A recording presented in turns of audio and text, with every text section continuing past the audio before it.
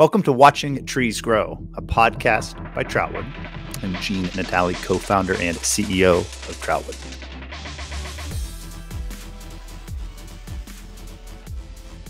Today's episode, we're going to talk about charitable giving. I'm going to date stamp the filming. The recording of this episode is the day after Giving Tuesday. Specifically, we are going to explore the tax benefits of your charitable donations. This is a continuation of last week's episode where we discussed giving your time versus giving your money. If you've been following along the podcast, you'll have noticed that we bring uh, members of the Troutwood team to join and to participate. We have a company philosophy that our collective experiences, both personally and professionally, make us stronger. Today's episode is a perfect example of that because I am not an accountant. CFO, Simone Quinerly, is, and she is far more versed than I in the topic of taxes. Simone, welcome to the podcast. Thanks for having me, Gene. I'm excited to definitely talk about the charitable giving portion and how it relates to taxes. Well, I'm excited to learn from you and for our audience to also learn from you. Uh, Simone, can you give us uh, give our audience a little bit of your background before we dive in? Yep. Hey guys, I'm Simone Quinerly. Um, I've been in the tax industry for about six years now. I kind of got my start by being an entrepreneur. That's how Troutwood actually found me.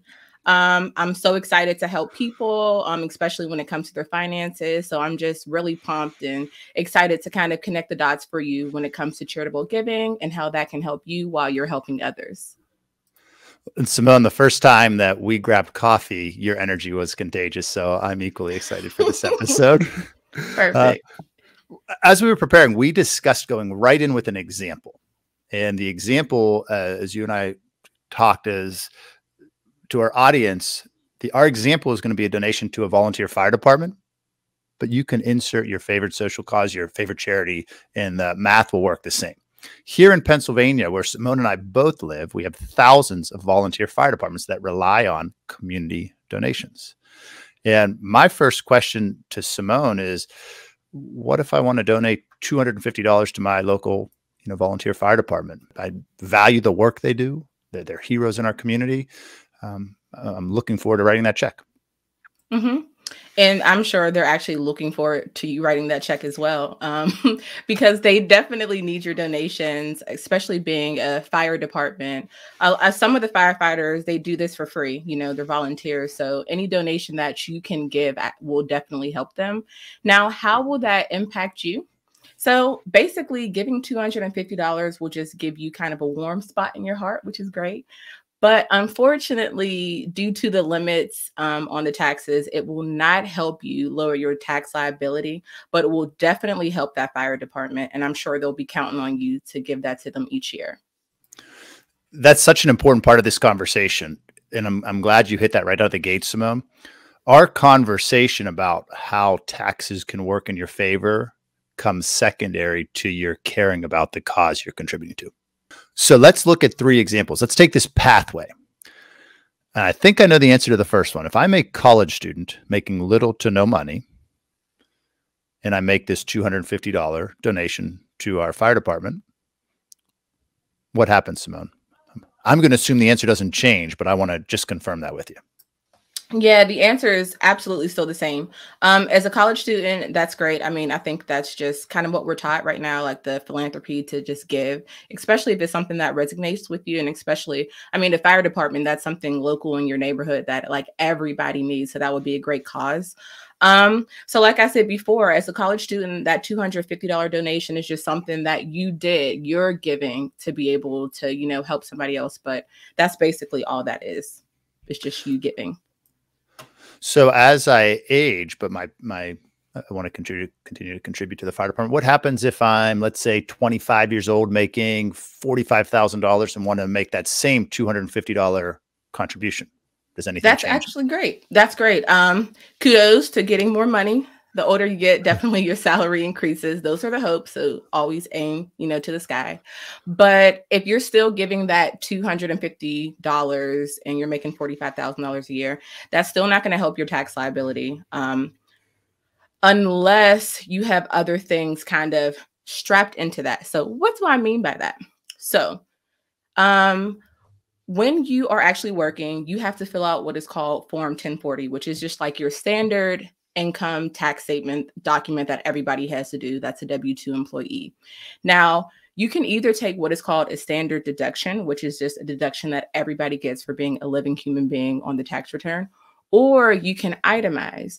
Now, for you to itemize, and most likely if you're 25, you may not have been married yet you would need to have $12,950 worth of expenses. So now let's just say you have that $250 contribution that goes to the fire department. I can now put that on your Schedule A.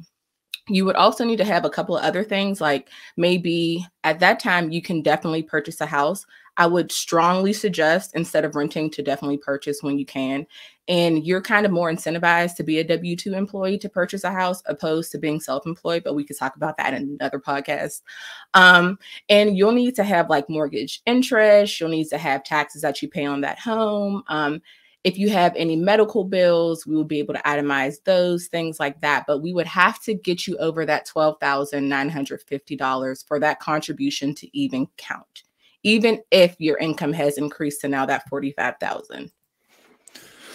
Okay, wow. Uh, that was a lot of big words. And so when I when I teach this subject, Simone, taxes is one of the questions that I receive the most or the highest number of questions from a college student audience. It's a confusing topic.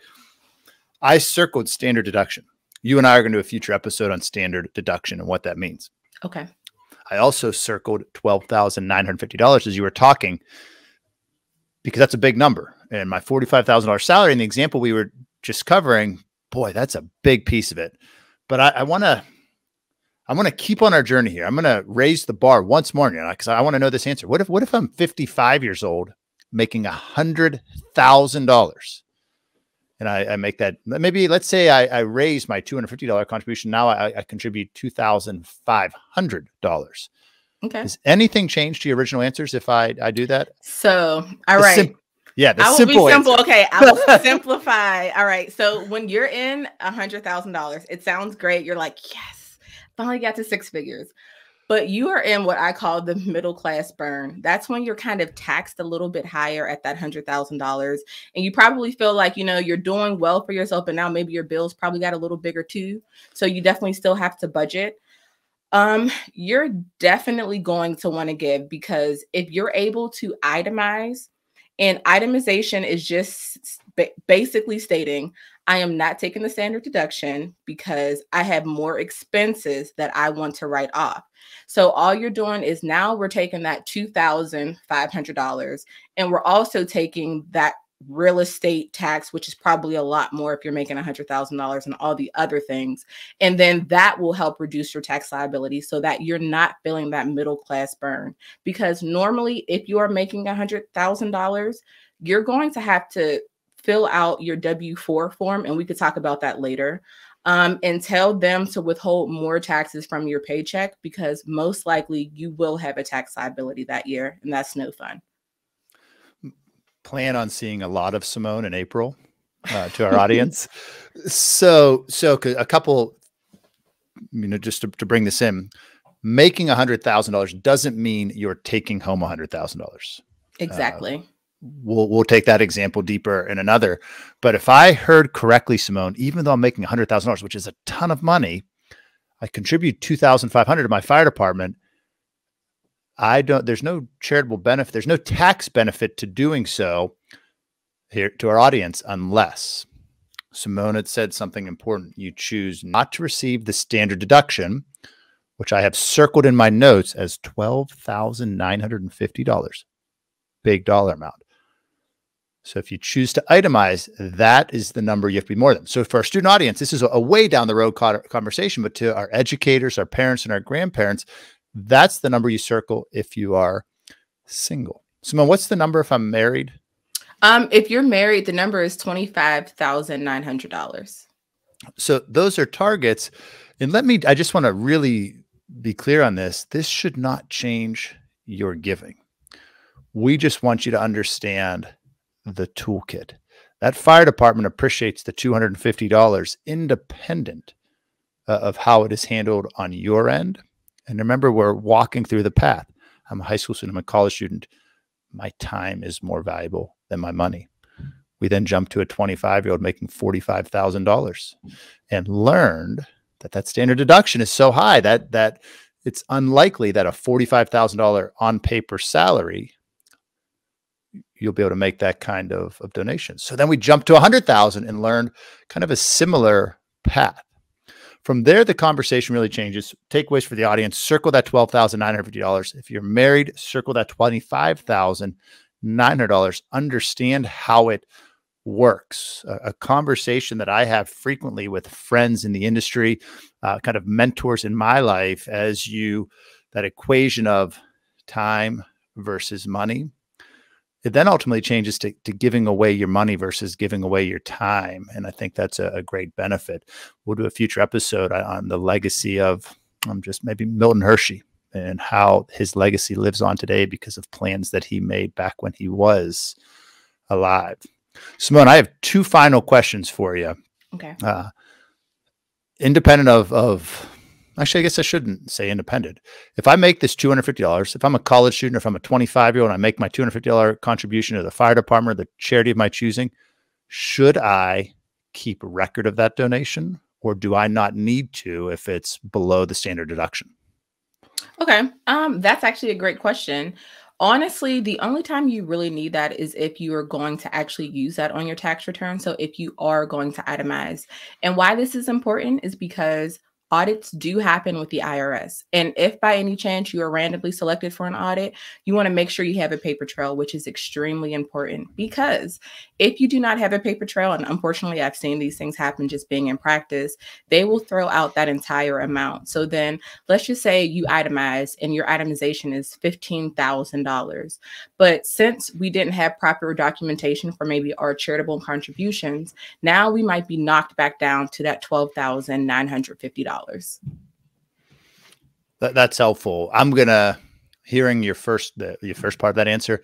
I'm going to suggest to our audience keep it, write it down. It's too easy to do. I, I, personally use, you know, Google Drive. My, my wife and I track our charitable contributions each year and our donations, and it, it's worth having just in case. Simone, I'm thinking specifically of our student audience with this second question. And if I'm a student passionate about a particular social cause, and I say, hmm, this is an organization that also does some hiring. Would you have any thoughts, suggestions, advice on how a young person can take that volunteering and use it to help get a job in the 501c3 space?